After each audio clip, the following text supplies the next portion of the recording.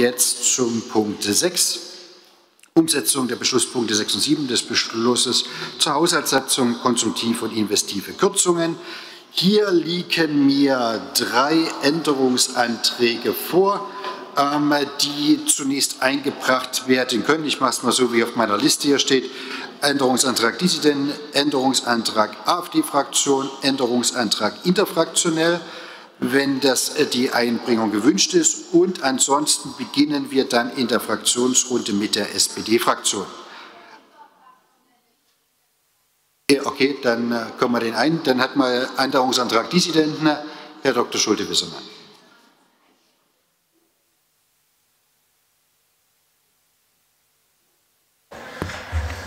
Sehr geehrter Herr Oberbürgermeister, liebe Kolleginnen und Kollegen, liebe Menschen im Saal und draußen im Netz. Äh, wir verteilen jetzt 109 Millionen Euro äh, und eine äh, Koalition im Stadtrat hat sich darauf geeinigt, wie die 109 Millionen verteilt werden. Die 109 Millionen kommen daher, dass wir in Corona-Zeiten weniger Geld ausgegeben haben und dass der Bund uns geholfen hat. Und die Dissidentenfraktion möchte gerne 10 Millionen Euro davon umwidmen in drei sehr, sehr wichtige Sachen. Lassen Sie mich mal nulltens erklären, welche 10 Millionen. Es sind 10 Millionen vorgesehen für einen Kreuzungsbau, oder es sind zwei Kreuzungen, äh, steht drin, für eine Schule. Seit wann eine Kreuzung, ein Straßenbau wichtig ist für eine Schule, weiß ich nicht. Selbst wenn es elementar wichtig ist, wir haben ja die, äh, das Bekenntnis zur, zum Leo-Gymnasium äh, auch aufgeschrieben, dann soll bitte schön eine extra äh, Vorlage kommen mit, wie sieht das aus, was ist geplant, warum ist das wichtig und nicht einfach so, äh, 10 äh, Millionen brauchen wir jetzt, okay? Also diese 10 Millionen möchten die Dissidenten für was anderes ausnehmen, ausgeben. Erstens eine Million der Sachsenenergie geben, weil wir haben der Sachsenenergie vor einem halben Jahr lang Geld weggenommen, damit die Sachsenenergie, also unsere Energieerzeugerin, damit sie ökologisch äh, äh, Strom- und Wärmeproduktion machen kann bei Prozessen, die heute noch nicht rentierlich sind, aber es bald rentierlich sein werden.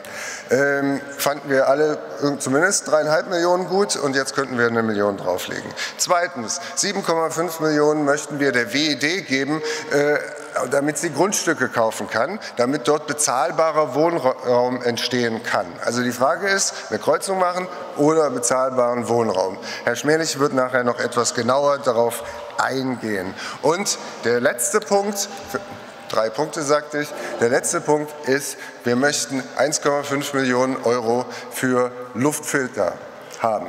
Luftfilter für Schulen und Kitas, weil vor drei Wochen haben wir ja schon mal drüber geredet. Da haben die meisten von Ihnen ja so ein bisschen gelächelt, hm, brauchen wir nicht. Äh, man war froh, dass man die gleichen Fehler wie letztes Jahr wieder macht, wo man im Sommer sagt, ach, die Inzidenzen sind so klein und dann im September, Oktober, ups, ui, wo kommt das denn her? Nur, dass dieses Mal, wo kommt das denn her? Sozusagen die vierte Welle wird natürlich maßgeblich bei den unter 12-Jährigen, unter 18 auch, aber unter 12-Jährigen sein, schlicht und ergreifend, weil die sich gar nicht impfen können. Und natürlich werden dann wieder die Schulen äh, äh, zu sein und natürlich werden dann wieder die Eltern stöhnen und die Leute, wo die Eltern nicht arbeiten können, werden stöhnen.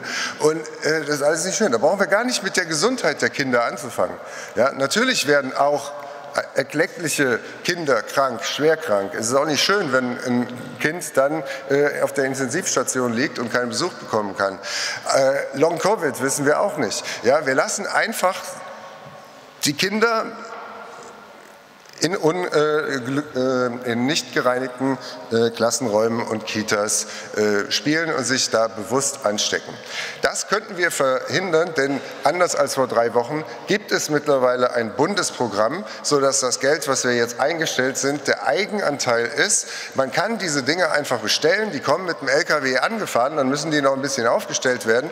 Äh, wollen wir das jetzt machen oder wollen wir sagen, wir gehen die Wette ein, wir machen jetzt nichts, wir lachen den Schulte-Wissermann aus, ja, das ist alles Quatsch, was der erzählt. Dann muss man aber auch die Verantwortung äh, übernehmen, wenn im Herbst äh, es hochgeht und dann möchte ich nicht hören, ui, das habe ich aber nicht gewusst. Okay, stimmen Sie unserem Änderungsantrag zu, dann wären 10 Millionen, die wir... Der Wirtz lacht. Ein kleiner Spaßkeks da. So. Na gut, stimmen Sie dem Antrag zu.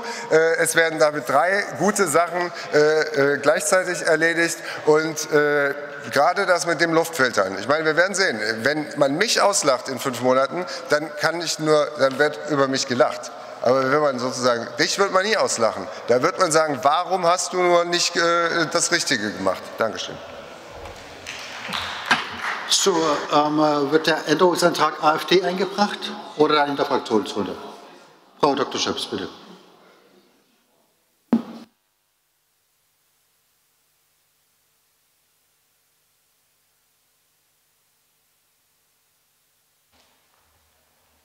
Sehr geehrter Oberbürgermeister, meine Damen und Herren Stadträte, ich hole jetzt mal für die Außenstehenden, die am Bildschirm sitzen und nicht vielleicht so die Details kennen, ein bisschen mehr aus. Die AfD hatte am 17. Dezember 2020 den Doppelhaushalt nicht mit beschlossen. Und zwar lag das vor allen Dingen neben diversen inhaltlichen Schwerpunktsetzungen auch an dem Änderungsantrag, den die damalige Haushaltskoalition der verbrauchten Parteien, also Grüne, SPD, Linke, CDU und FDP, um sie mal in der Reihe der politischen Bedeutung zu nennen, äh, uns vorgelegt hatte. Danach äh, sollte nämlich 77 Millionen äh, von der Stadt eingespart werden und die Stadtverwaltung sollte das sozusagen aus eigener Regie entscheiden. Dann gab es irgendwann mal eine Vorlage, da stand das alles drin und was da so geplant war, und zwar von vornherein eigentlich klar, ja, äh, irgendwie, äh, man kann es eigentlich niemandem richtig machen mit den Sparvorschlägen. Und plötzlich, wir waren sehr erschrocken und überrascht, kam plötzlich der Herr Dr. Lames um die Ecke, wie ein Zauberer mit dem Hut, den Zylinder, Sie kennen das, zog ein weißes Kaninchen heraus und dieses weiße Kaninchen waren rund 109 Millionen Euro, die wir plötzlich im Plus waren. Nun führen wir jetzt hier eine Haushaltsdebatte 2.0 sozusagen im Stadtrat. Es geht nicht mehr um Kürzung, fast nicht mehr, sondern um Wohltaten. Wohltaten vielleicht so ein bisschen Richtung Bundestagswahl, vielleicht auch Richtung OB-Wahl. Da kann man auch schon mal sich so richtig in Stellung bringen. Nun, wir als AfD sind natürlich in der Opposition und als Opposition will man natürlich auch mitregieren. Und deshalb sagen wir, ja, wir wollen Dresden mitgestalten, um zu zeigen, dass wir das können und wollen, machen wir hier unsere eigenen Vorschläge. Manches, was, wir, was hier im Rat auch vorgeschlagen wurde, ist, sieht ganz gut aus, ist auch richtig, besonders von bürgerlicher Seite. Aber ich sage Ihnen, mit uns als AfD hätten Sie noch viel mehr kriegen können. Und vor allen Dingen ganz ohne irgendwelche Rot-Rot-Grün-Kröten schlucken zu müssen. Die versalzen nämlich das Gesamtkonzept, das somit nicht mehr stimmt. Unser Änderungsantrag, und jetzt komme ich zu eigentlichen Einbringungen, bezieht sich auf den Ersetzungsantrag des Oberbürgermeisters. Wir haben eigentlich nur einen Punkt, den wir darin verändern wollen, und zwar geht es uns um die Unischule. Die Unischule äh, will Mehrausgaben von 6,5 Millionen durch diesen äh, Antrag gerne bekommen. Linkselbisch, also auf Altstädter Seite, sagte, uns mein, sagte mir mein, unser bildungspolitischer Sprecher, gäbe es aber gar keinen Bedarf mehr für weitere gymnasiale Züge. Und deshalb äh, ist es natürlich auch widersinnig, wenn drei äh, neue Züge für ein Gymnasium dann gebaut würden mit viel Geld, die eigentlich überhaupt nicht mehr benötigt werden. Und deshalb wollen wir das Geld halt anders, sinnvoller und für dringende Projekte ausgeben. Wir wollen zum Beispiel 250.000 für die Jahre 2022 bis 2024 zusätzlich in die Sanierung von Schulsporthallen investieren und gleichzeitig auch zur Förderung von Sanierungsvorhaben für Sportanlagen von Sportvereinen bereitstellen. Sie haben ja vielleicht äh, alle den Brief von der SG Gittersee bekommen. Und zwar ist das ein Verein, der dringend Unterstützung für die Sanierung seines Vereinsheims und der Sportanlagen benötigt. Der Verein ist schon 140 Jahre alt und hat das Besondere, dass ihm die Anlagen selber gehören. Also er ist nicht ein Teil des Eigenbetriebssports, sondern er ist wirklich Eigentümer dieser Anlagen und deshalb fällt er überall durchs Raster. Und nun ist wirklich, ich habe Fotos gesehen, ganz dringender Sanierungsbedarf. Deshalb wollen wir unter anderem solchen Vereinen dort mit unter die Arme greifen. 1,5 Millionen wollen wir im Ergebnis, also insgesamt dann für die Marktgebühren 2021 und 2022 mit ausgeben, dass die halt nicht äh, getragen werden müssen. Zwei Millionen wollen wir für die Sanierung des Blauen Wunders mehr bereitstellen. Eine Million für die frühzeitige Umsetzung von Maßnahmen zur Verbesserung der verkehrlichen Erschließung des Fernsehturms im Rahmen Verkehrs-, des Verkehrs- und Mobilitätskonzepts Fernsehturm Dresden. Und, das ist uns ganz wichtig, eine weitere Million, die dann noch in der Rechnung übrig ist, wenn Sie nachgerechnet haben, soll in eine Liquiditätsreserve fließen, und zwar zur Gegenfinanzierung von ungeplanten Mehrausgaben oder Mindereinnahmen im Zusammenhang mit der Corona-Pandemie. Wir wissen ja überhaupt noch nicht, was uns da noch erwarten könnte. Soweit unsere konkreten Vorschläge. Und unterm Strich, wir als AfD sehen uns natürlich auch weiterhin einer seriösen und sparsamen Haushaltspolitik verpflichtet und haben nicht die Absicht, künftige Generationen für irgendwelche ideologischen Luftschlösser, wie sie gerne in diesem Rat immer wieder aufgebaut und konstruiert werden, in der Zukunft blechen zu lassen. Stimmen Sie unserem Änderungsantrag zu. Vielen Dank. So, und damit steigen wir ein in die Fraktionsrunde. Es beginnt, äh, wie gesagt, die SPD-Fraktion. Frau Dr. Vogel, bitte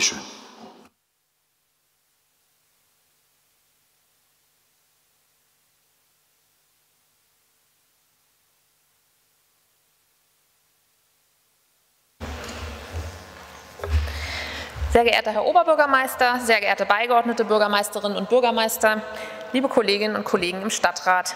Wir haben als eine der fünf haushaltstragenden Fraktionen in den letzten Wochen intensiv über den Umgang mit 109 Millionen Euro Überschuss aus dem Jahresabschluss 2020 verhandelt, wohlgemerkt in Relation zu einem Gesamthaushaltvolumen von 1,8 Milliarden Euro.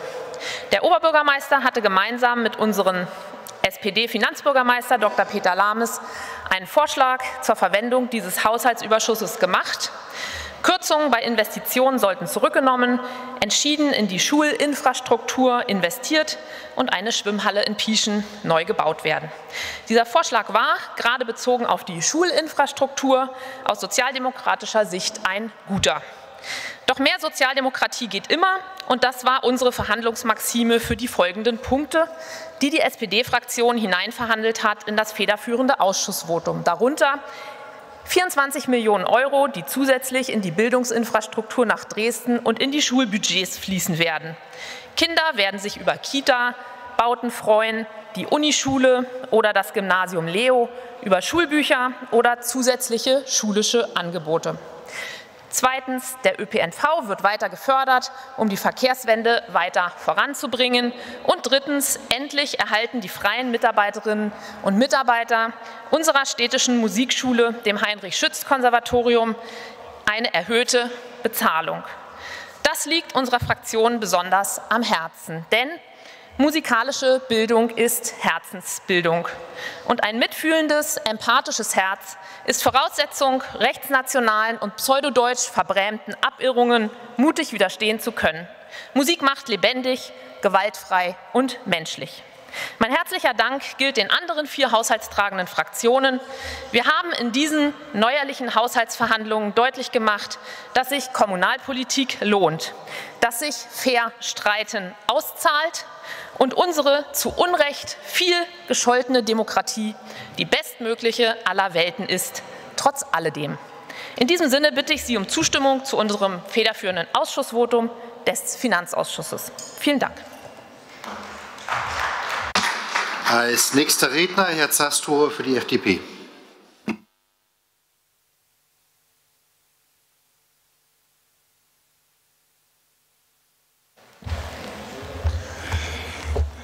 Ja, meine Damen und Herren, ähm, das war natürlich eine Überraschung, mit einmal 109 Millionen mehr zu haben, was mich zu der gar nicht so unernsthaft äh, gemeinten äh, Behauptung oder Empfehlung hinreißen lässt, ob man nicht den nächsten Haushalt doch erst verabschiedet, wenn der Jahresabschluss vorliegt. Wir haben ja bei uns den Ehrgeiz, immer mit dem fertigen Haushalt ins neue Jahr zu gehen. Das ist gut so grundsätzlich, das machen wir ja und das schaffen wir auch unter widrigsten Bedingungen immer wieder. Aber eigentlich, wie wäre es, wenn wir das nächste Mal ein bisschen abwarten, bis der Jahresabschluss vorliegt, weil wir hätten uns natürlich das Ringen um so manchen kleinen, in der Gesamtschau wirklich kleinen Betrag sparen können, hätten wir es schon vorher gewusst. Ich will jetzt nicht das Beispiel der Parkgebühren nennen, aber die Senkung wäre, hm, aber man hätte auf jeden Fall ganz anders die Erhöhung wäre vielleicht nicht nötig gewesen, die Senkung, die Erhöhung, soweit. Das andere will ich jetzt mal gar nicht fordern. Aber die, wobei es bei der Lage der Innenstadt, glaube ich, die richtige Maßnahme wäre. Darüber reden wir heute nie. Aber trotz alledem ist es natürlich schon ein bisschen misslich, dann hinterher äh, doch nochmal so einen großen Betrag zu sehen, so schön das auch ist, ähm, über den erneut zu reden wäre. Deswegen so ganz, ganz ähm, zufrieden bin ich damit nicht und hätte mir dann auch mehr Prognosegenauigkeit seitens der Stadtverwaltung gewünscht. Insgesamt sind die Vorschläge, das wiederum als Kompliment auch an die Stadtverwaltung zur Verteilung der Mehreinnahmen natürlich insgesamt sehr gut gewesen. Das muss man sagen. Viele Dinge, die dort angesprochen worden sind, sprechen uns ja aus dem Herzen. Das sind nicht bloß die Rücknahme von schmerzlichen Kürzungen, sondern das ist auch die Verteilung, ob das jetzt der Bildungsbereich gewesen ist oder auch die Infrastrukturnahmen, äh, Maßnahmen für den Fernsehturm. Alles richtig, alles gut, findet unsere Unterstützung. Wir als FDP-Fraktion sind natürlich auch sehr froh, dass äh, das Geld für die äh, weitere Ertüchtigung der Eissporthalle drin geblieben ist. Äh, wir brauchen die Leistungsträger in dieser Stadt, die Vorbilder auch für andere sind. Dazu gehört eben nicht bloß Dynamo DSC, Dazu gehört eben ganz äh, besonders gehören dazu auch die Eislöwen. Ähm, von der Eishalle profitieren noch die Shortträger, die Eiskunstläufer. Deswegen halten wir das für richtig, auch in unsere Leuchttürme dort weiter zu investieren. Das ist jetzt möglich. Deswegen ganz klar äh, eine gute Sache. Auch aus unserer Sicht sind wir sehr glücklich, dass wir ähm, war uns ein wichtiges Anliegen, darum, äh, dafür gekämpft haben, dass das drin bleibt. Ähm, viele andere Sachen Ganz genauso ähm, das Nebenstraßenprojekt, was vor allem der CDU am Herzen lag, ganz klar hat, dass wir das ebenfalls mit unterstützen. Und wir sind auch ganz glücklich, dass zwei kleinere Herzensanliegen für uns es auch jetzt noch in den Haushalt geschafft haben. Das eine ist die Unterstützung für den Dresdner Rennverein, das heißt für die Galopprennbahn. Da stehen ja Verhandlungen an, glaube ich, wie es mit der weiteren Unterstützung seitens der Stadt für äh, diese große und von vielen Zuschauern ja auch genutzte Anlage steht. Die Verhandlungen müssen erst noch zum Ergebnis führen, aber so auf dem ersten Weg ist zumindest schon mal eine Finanzierung gesichert, was, glaube ich, auch der Stadt Dresden insgesamt die Verhandlungen leichter macht. Und dass wir passend zur Debatte in der Aktuellen Stunde zum Neustädter Markt jetzt endlich auch das Thema ähm, Kugelbrunnen, Krachtbrunnen angehen und vor allem auch lösen können. Das äh, ist sehr wichtig. Ich habe das schon selber, glaube ich, vor zehn Jahren mal, da wurden die ersten Pressefotos vor der Ruine gemacht. Ich wurde älter, die Ruine auch. Äh, beide sehen wir nicht besser aus, das stimmt. Ähm, wobei das gemeinsame Foto mit Herrn Löser im Brunnen, wir sollen ja, ja, wir sollen ja im Brunnen nicht baden, wie ich gelesen habe. Es war kein Wasser drin. Wenn es denn mal irgendwann soweit ist, dass er fertig ist, würde ich sogar mit ihm baden gehen. Ähm, das, wenn wir das erleben gemeinsam, würde ich das tun. Auf jeden Fall finde ich das ganz wichtig, dass wir hier ähm, auf Dr. Brauns, dass wir auf verschiedenen Ebenen versuchen, an einem Strang zu ziehen, weil so kann ja Stadtrat auch mal funktionieren.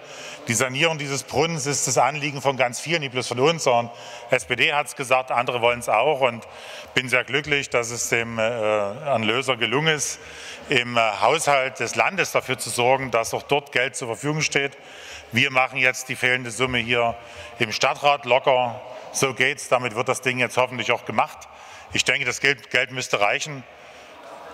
Er guckt skeptisch, Frau Jenigen. Das deutlich, das Nicken, es reicht. Vielen Dank für Ihre Aufmerksamkeit. Wir gehen es an. Als nächster ähm, Redner die Fraktion Dissidenten, Herr Schmelich.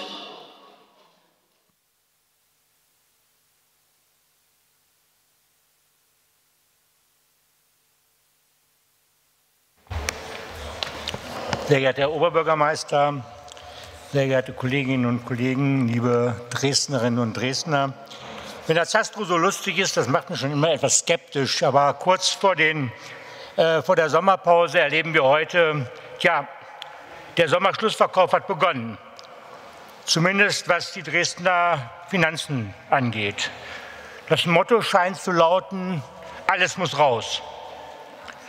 Bei der Verteilung der Linsen scheint das Haushaltsbündnis nicht mehr dem Aschenputtelprinzip gefolgt zu sein, die Schlechten ins Kröpfchen, die Guten ins Töpfchen. Man hat gleich die ganzen 109 Millionen ins Kröpfchen gepackt. Fürs Töpfchen bleibt dann nichts mehr übrig. Die heutige Beschlussfassung über den unverhofften Jahresgewinn 2020 ist aber kein Sommermärchen. Es ist ein Trauerspiel. Ich sage ein Trauerspiel zu Lasten der Zukunftsfähigkeit der Dresdner Finanzkraft. Worum geht es denn heute? Formal haben wir heute keine Haushaltsberatungen, obwohl der Duktus und das, was hier erzählt wird, ja so tut, als ob wir im Grunde genommen einen zweiten Haushalt haben. Nämlich wenn wir Haushaltsberatungen hätten, dann hätte eigentlich bei einem solchen Überschuss von 109 Millionen hier ordnungsgemäß ein Nachtragshaushalt eingebracht werden müssen. Dies ist nicht der Fall. Stattdessen wird der unerwartete Geldsegen für ein, ich nenne es mal, ausgiebiges Frühstücksgelage ausgegeben werden, der haushaltsführenden Fraktion verwendet. Und ich denke, dass die entscheidende Frage, nämlich was braucht diese Stadt vor dem Hintergrund einer noch nicht längst beendeten Corona-Krise, diese Frage beantworten die haushaltsführenden Fraktionen nicht.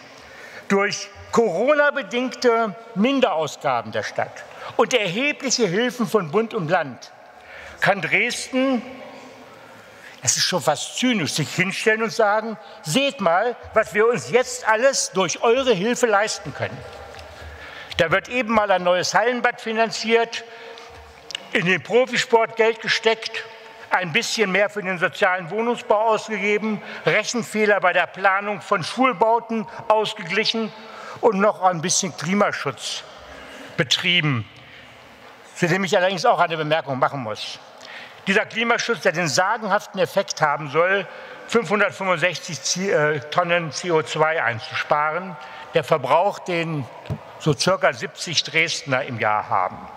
Das ist aus meiner Sicht kein Beitrag, den bisher, die bisher so ohnehin weit verfehlten Ziele bei der CO2-Einsparung von Dresden äh, wieder auszugleichen. Dies ist nicht einmal ein Tröpfchen auf den sprichwörtlichen heißen Stein. Allerdings eine seriöse Finanzpolitik hätte bei der Verwendung der 109 Millionen nicht nach Wunschlisten gearbeitet, sondern sich Notwendigkeiten gestellt. Die Notwendigkeiten lassen sich in zwei Fragen zusammenfassen. Erstens, was kommt auf die Stadt pandemiebedingt in den kommenden Jahren an Mindereinnahmen zu? Und zweitens, welche Mehrausgaben sind erforderlich, um die Corona-Krise zu bewältigen. Kommen wir zu den Einnahmeverlusten. Vor allen Dingen werden es Steuern sein und dann über die Steuern auch äh, die Zuweisungen, unter denen wir leiden werden. Und ich kann jetzt schon sagen, ich bin sehr sicher, dass wir im Zusammenhang mit den Haushaltsberatungen des nächsten Doppelhaushaltes feststellen müssen, dass uns eine Menge Geld fehlt und den Preis für die jetzigen großzügigen Geschenke, ja, diesen Preis werden die Dresdnerinnen und Dresdner dann zu bezahlen haben. Was, die Überwindung der, was wäre denn für die Überwindung der Krise notwendig? Und welche Menschen waren es denn, die besonders darunter gelitten haben? Ja, natürlich, es waren die Kulturschaffenden. Natürlich, es waren Menschen, die noch stärker in soziale Not geraten sind. Ähm, es waren Menschen, die in ihrer Seele verletzt wurden. Aber es waren auch vor allem die Kinder und ihre Eltern, die unter dieser Krise gelitten haben. Und äh, es ist schon sehr bezeichnend, dass in diesen 109 Millionen kein müder Cent vorgesehen ist, um zum Beispiel die Situation an den Schulen, und da ist das Stichwort Luftfilter gefallen, äh, zu verbessern. Kein müder Cent wurde von Ihnen eingestellt. Und da kann ich nur hoffen, dass Sie in diesem Punkt den Änderungsantrag der Dissidenten entsprechend unterstützen. Wir werden darauf verzichten, andere Änderungsanträge in dem Kontext zu stellen. Ich hoffe wenigstens, dass Sie in dieser Frage die Fehlentwicklung, die in diesem Beschluss für heute droht, ja, ähm, diesen in, insoweit zu korrigieren, dass Sie diese 10 Millionen Umsteuerung mitmachen. Vielen Dank. So wird äh, das ja, also wir haben im Ältestenrat das mehrmals besprochen. Dass Herr Schmelich, ähm, ich habe 20 Sekunden drüber ähm, gelassen, dann habe ich das erste Mal ermahnt ähm, und äh, das mache ich bei jedem einheitlich äh, gleich und äh, da will ich auch keine Diskussion mit Ihnen hören. Wir haben eine Geschäftsordnung, wir haben eine Geschäftsordnung und ansonsten ermahne ich Sie jetzt das erste Mal, wenn dann immer wieder dagegen jetzt interveniert wird, das ist unser gemeinschaftliches Verständnis. So, jetzt die Frage, Freie Wähler, wird das Wort gewünscht? Nein? Dann als nächstes CDU-Fraktion, Herr Krüger.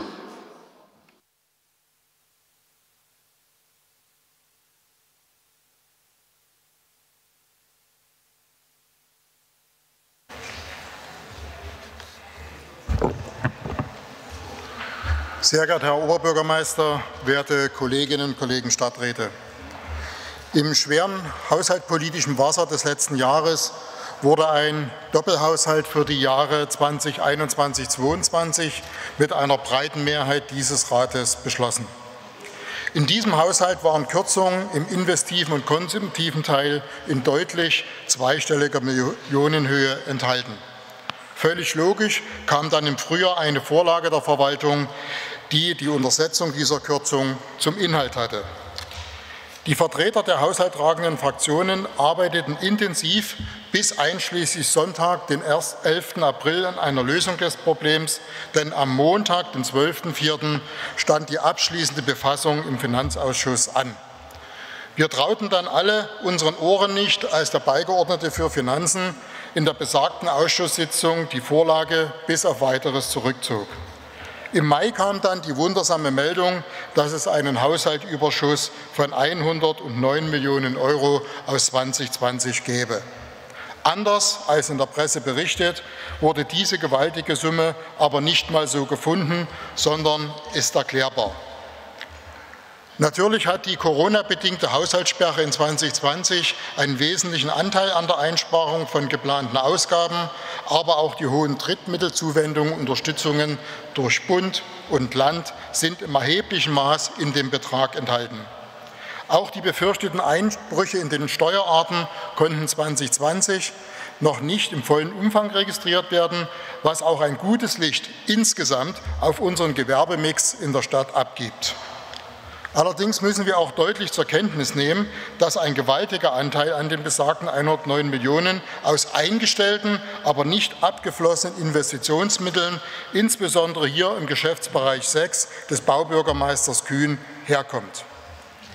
Mit Blick auf große Herausforderungen, ich nenne mal nur beispielhaft das Stadtbahnprojekt 2020, das Blaue Wunder, eine zunehmend marode Straßeninfrastruktur, aber auch ewige Planungsverzögerungen in großen Wohnbauprojekten, zum Beispiel in Tolkewitz und Seidnitz, bin ich in Sorge, ob der Geschäftsbereich gut für die Zukunft aufgestellt ist.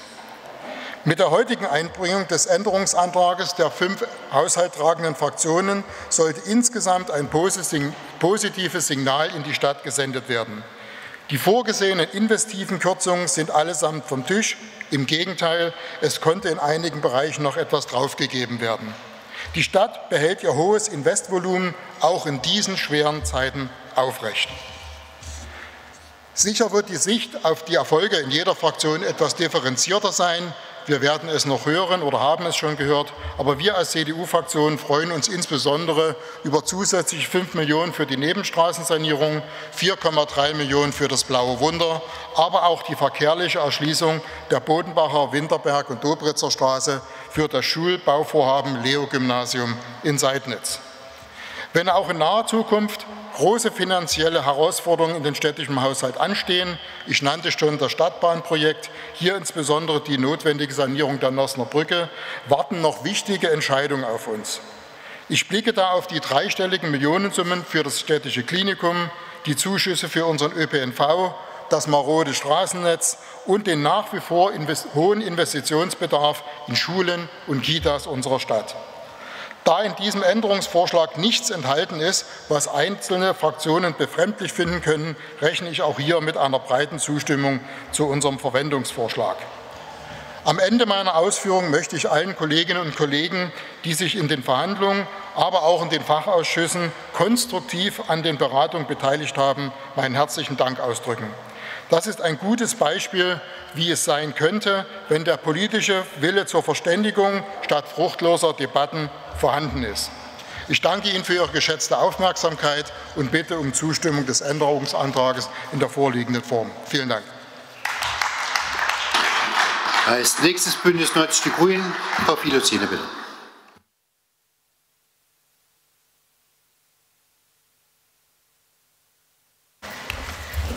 Sehr geehrter Herr Oberbürgermeister, liebe Kolleginnen und Kollegen, liebe Bürgerinnen und Bürger, Herr Krüger, ganz kurze Korrektur. Der Änderungsantrag ist ja schon im Finanzausschussbericht drin. Wir haben nur noch einen kleinen redaktionellen Änderungsantrag, den ich dann auch noch mit einbringe. Ähm, ja. Auch ich will einen ganz kurzen Rückblick machen. Das haben ja schon verschiedene Kolleginnen und Kollegen gemacht. In den intensiven Gesprächen, die ich während der Erarbeitung des in den Beschluss des Finanzausschusses eingeflossenen interfraktionellen Änderungsantrages geführt habe, sagte mir ein Beigeordneter, Sie sollten beim nächsten Mal vermeiden, dass wir nach Verabschiedung des Haushalts noch monatelang weitere Haushaltsverhandlungen führen.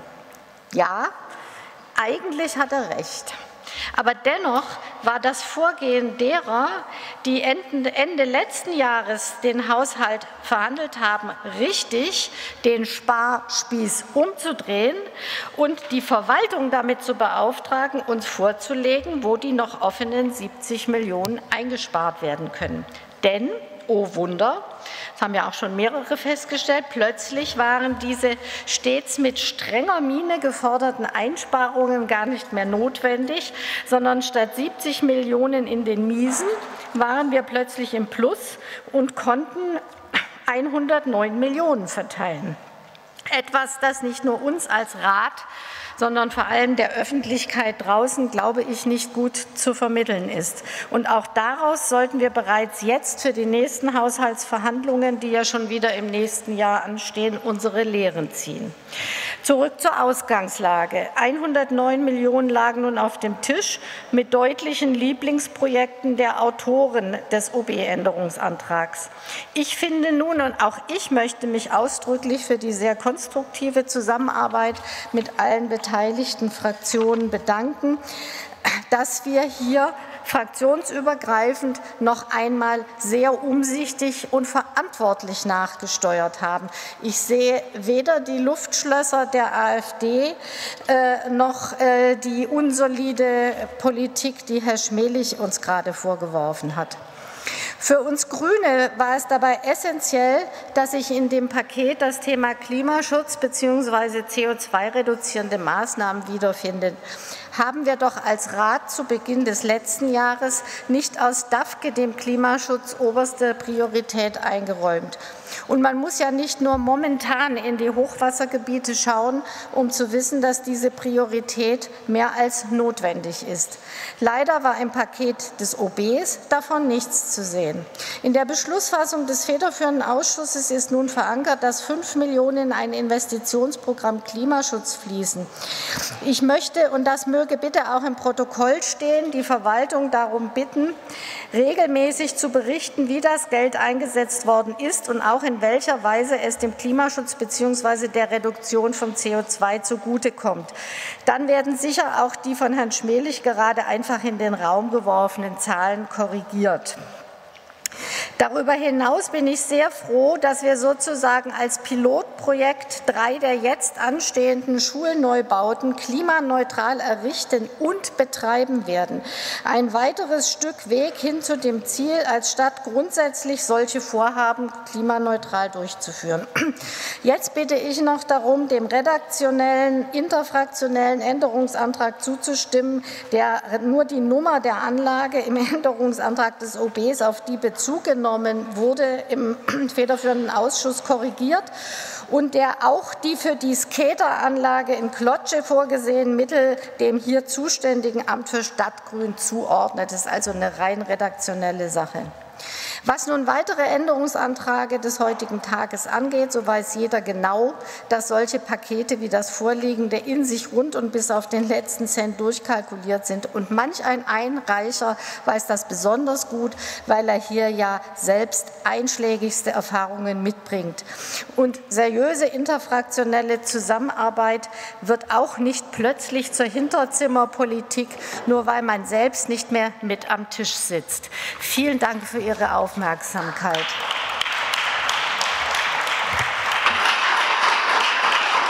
Wird AfD noch mal das Wort gewünscht? Herr Lommel, bitte.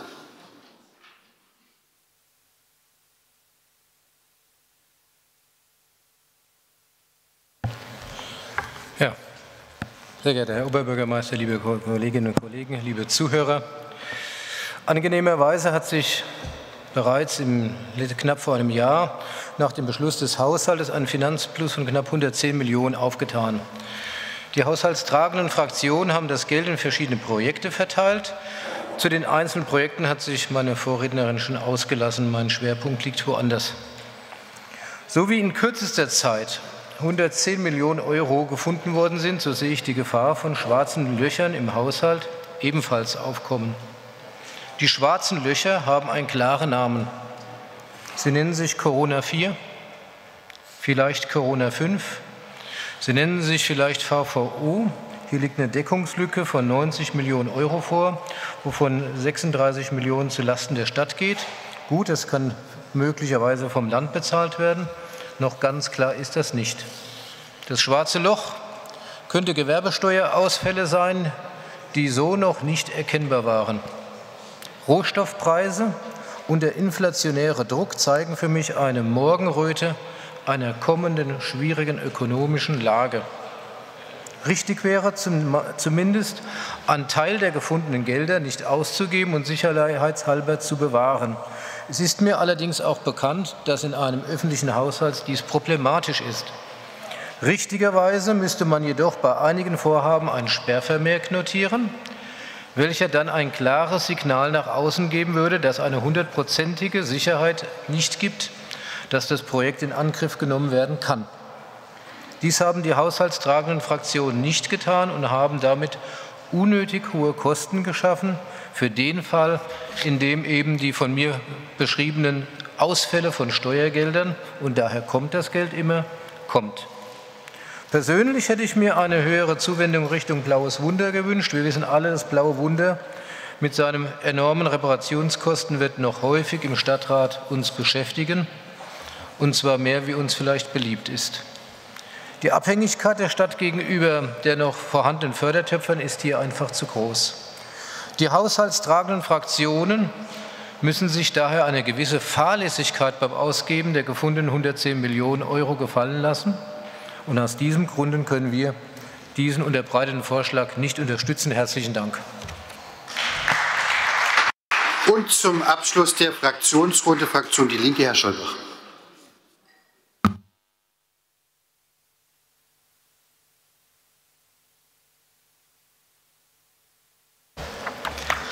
Herr Oberbürgermeister, meine Damen und Herren, es war im Jahr 2021, das Frühjahr hatte begonnen und da begab sich Folgendes.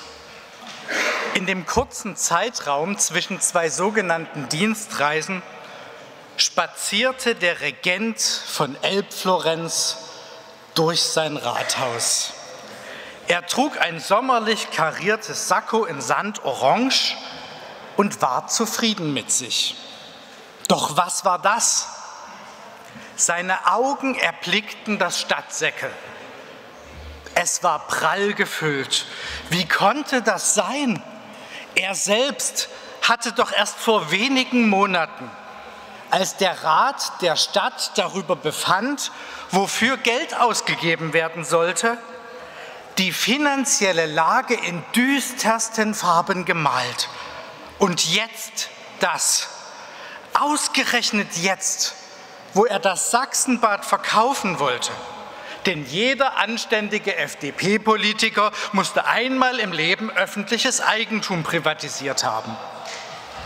Doch die Sterne standen nicht gut, Was waren das noch für Zeiten, als internationalen Finanzinvestoren mit wohlklingenden Namen ganze Wohnungsbestände auf dem Silbertablett dargeboten wurden? Heute musste man als FDP-Politiker froh sein, den Verkauf eines alten Schwimmbads durchsetzen zu können. Und selbst dagegen wurde noch frech aufbegehrt. Aber diese Trophäe neoliberaler Politik wollte sich der Regent von Elbflorenz nicht nehmen lassen.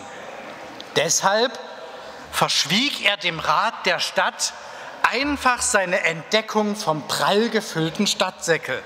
Nicht, dass da noch jemand auf dumme Gedanken kommt. Er hatte ohnehin gerade Wichtigeres zu tun. Die Vergütungen der Aufsichtsräte bedurften dringend der Erhöhung. Die Wartehäuschen an den Straßenbahnhaltestellen mussten endlich abgerissen werden. Darauf wartete das Volk schließlich seit Jahren. Gleich neben dem Rathaus sollte ein neuer Verwaltungspalast entstehen. Es gab auf absehbare Zeit keine kommunale Baustelle in ganz Elbflorenz, in die mehr Geld fließen würde. Man musste schließlich Prioritäten setzen. Eigentlich sollte der Palast auch einen hohen Turm erhalten. Schließlich unterstreicht jeder anständige Regent, der etwas auf sich hält, die eigene Bedeutung mit einem solchen Verlust der Macht. Man konnte von dort übrigens auch hübsch auf das Volk blicken. Doch dieses Vorhaben hatte ihm der wackere Wirts versaut, der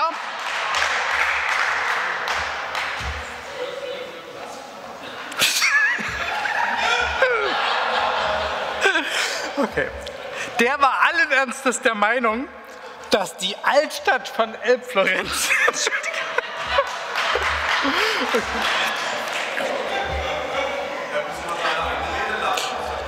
Der war allen Ernstes der Meinung, dass die Altstadt von Elbflorenz bereits eine recht ansehnliche Silhouette habe und nicht irgendwann so aussehen solle.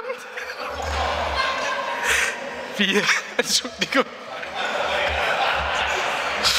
wie jene von Frankfurt am Main. So. Okay, der verhinderte Turmbau cremte den Regenten von Elbflorenz Garcia. Bevor ihm nun der Rat erneut in die Suppe spuckte, verplante er den 109 Millionen Euro Schatz lieber gleich selbst. Für den sozialen Wohnungsbau gab es in seinem Dekret vorsichtshalber keinen Taler, denn das hätte den getreuen Haus- und Grundbesitzern gewiss nicht geschmeckt. Über den Klimaschutz sprach er zwar in wohlklingenden Worten, aber beim Geld hörte der Spaß auf. Da könnte ja jeder kommen. Und so kam es, dass sich unter den Räten eine Mehrheit fand, die ihrerseits befand, dass es so nicht ginge. Selbst ein Parteifreund des Regenten, der zockende Zaster, opponierte. So weit war es also gekommen. Diese Mehrheit nahm die Sache nun selbst in die Hand. Sie widerrief Kürzungen bei Kunst und Kultur, investierte in den sozialen Wohnungsbau und stärkte den Klimaschutz. Die Repräsentanten des Volkes hatten sich erdreistet, auf offener Bühne den vermeintlich genialen Plan des Regenten zu korrigieren. Hierüber war der Regent allerdings gar nicht erfreut. Früher hatte er der Sitzung des Rates einen Besuch auf dem Weinfest oder auch die Eröffnung des Weihnachtsmarktes vorgezogen. Vergnüglicher war das allemal. Heute zog es ihn nach der Pause Kommen Sie bitte zum Schluss. auf Schloss Eckberg, denn dort gab es wenigstens keine Widerworte. Und wenn sie nicht gestorben sind, dann leben sie noch heute. Also außerordentlich witzig, ähm, aber wenig inhaltsreich. Herr Provisor als nächste Rednerin.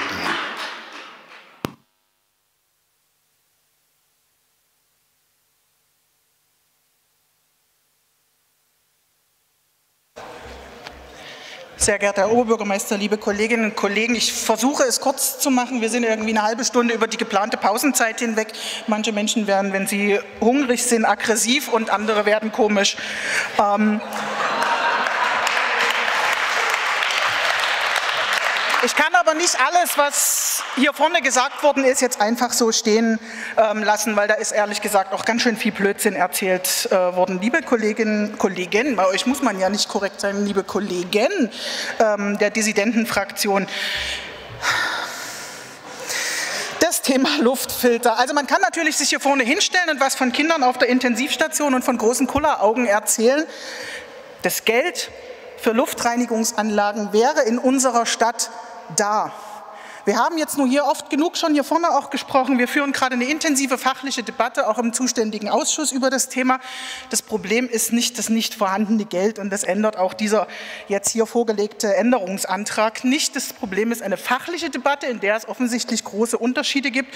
Wir sind uns da, glaube ich, ja sehr einig über die Notwendigkeit, aber es fehlt nicht am Geld. Was hier ein bisschen unter den Tisch gefallen ist, ist die Finanzierung, die die Dissidenten sich dafür vorstellen. Das sind diese 10 Millionen, die für die Verkehrserschließung fürs Gymnasium Leo äh, jetzt vorgesehen sind. Ja, das ist nicht in Ordnung, dass die Verwaltung das bei diesem Schulbauvorhaben nicht von vornherein mitgeplant hat, denn wer sich dort auskennt in der ähm, Ecke an der Margon Arena bei der Bodenbacher Straße, der weiß auch, dass es nicht nur einfach um eine Kreuzung eine Straßenkreuzung geht, die dort in Ordnung gebracht werden soll, sondern es geht um einen ganzen Straßenzug von der Marienberger Straße bis zur Salzburger Straße, die ich mit dem Fahrrad nicht mal am Wochenende befahre. Da sollen spätestens geplant ist im Moment die Übergabe dieser Schule 2024, 2025 am Ende bis zu 800 Kinder am besten mit dem Fahrrad oder zu Fuß oder mit Bus und Bahn ankommen. Und dafür muss ein gesamter Straßenzug umgestaltet werden, damit das sicher ist, weil das im Moment auf der Bodenbacher Straße so nicht möglich ist. Und deswegen können wir dieses Geld dort nicht rausnehmen an dieser Stelle, weil das wissen die Kollegen auch ganz genau.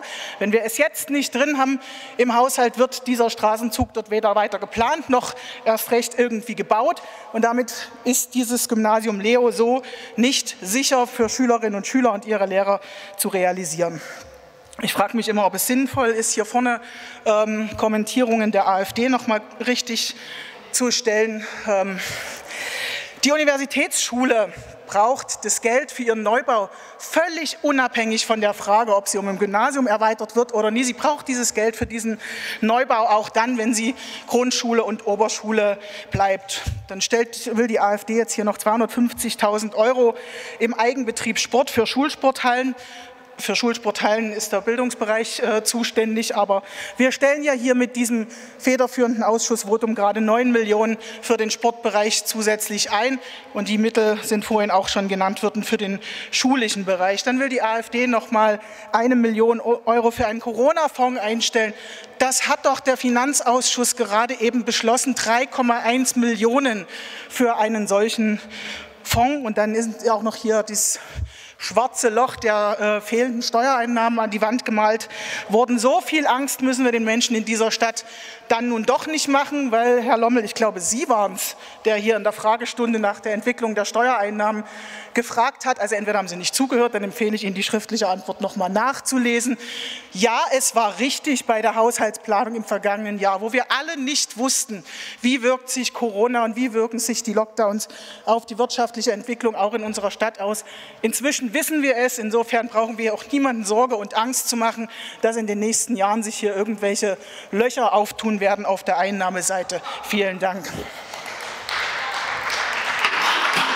So, weitere Wortmeldungen sehe ich nicht. Dann würde ich mir erlauben, in die Abstimmung einzutreten. Ich würde es einfach in der Reihenfolge machen, wie die Änderungsanträge reingebracht worden sind.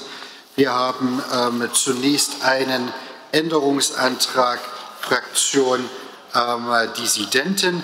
Wer diesem zustimmen möchte, den bitte ich jetzt um das Stimmzeichen. Gegenstimmen? Letzteres ist die große Mehrheit, damit wird er abgelehnt. Wir kommen zum Änderungsantrag AfD. Wer diesem zustimmen möchte, den bitte ich jetzt um Stimmzeichen. Gegenstimmen? Auch hier ist Letzteres mit großer Mehrheit damit abgelehnt.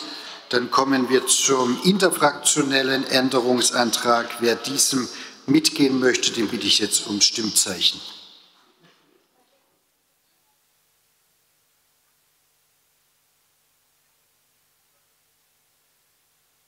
Gegenstimmen? Ersteres war deutlich die Mehrheit gewesen. Damit wäre der aufgenommen. Und wir kommen jetzt zur Schlussabstimmung über den federführenden Ausschussbericht, geändert, so wie wir es gerade ähm, beschlossen haben. Wer dem folgen möchte, bitte ich jetzt um Stimmzeichen.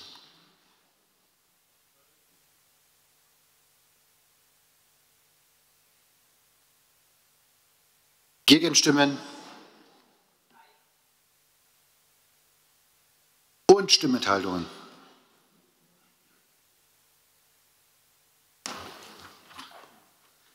Neunundvierzig Ja-Stimmen, 19 Nein-Stimmen, keine Enthaltung. Damit wäre das so beschlossen.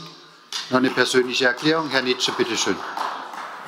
Ja, ich hätte eine kurze persönliche Erklärung zum Abstimmungsverhalten. Ich habe jetzt hier ähm, bei dem Antrag ähm, dagegen gestimmt. Nicht, weil ich vorher zwei Wahlkampfreden heute schon gehört habe, eine davon eine Büttenrede, sondern weil es mir um etwas anderes geht. Mir gibt es in dem Änderungsantrag, es hat übrigens auch nichts mit Trotz zu tun, von wegen wir wären nicht daran beteiligt gewesen oder sowas. Ähm, es hat etwas mit dem Inhalt zu tun. Es ist mir einfach zu viel Spitze und zu wenig Breite. Ich mache es an einem Beispiel fest. Eissporthalle soll ertüchtigt werden für die DEL. Wir haben in der, eine Eissporthalle, die äh, in der zweiten Liga DEL tauglich ist, die eine Punktbewertung hat, die weit über der Eissporthalle äh, von Bremerhaven liegt. Andererseits gibt es auch gute Sachen, die in dem äh, Punkt drin sind, im gleichen Satz sozusagen in dem Punkt, in dem halt eben zwei Kunstrasenplätze ähm, geschaffen werden sollen. Das macht es äh, nicht einfach, das abzulehnen, aber es macht es notwendig. Und an diejenigen Fraktionen, die jetzt diesen Antrag äh, durchgeboxt äh, und auch äh, gemeinsam durchgestanden haben, es war bestimmt sehr schwierig, Herr Zastro, äh, noch eine Frage. Falls irgendwann mal wieder eine Lücke in Höhe von 120 Millionen auftauchen sollte und nicht etwas gefunden würde, dann glaube ich nicht, dass Sie es so einfach haben werden, dann auch gemeinsam eine also, Lösung für diesen Fall zu finden. Die Debatte ist abgeschlossen und ähm, dieser Punkt ist abgeschlossen und damit darf ich Sie in die überfällige Pause ähm, gehen lassen. Und es ist 19.05 Uhr und das heißt, wir setzen 19.35 Uhr fort mit der Sitzung.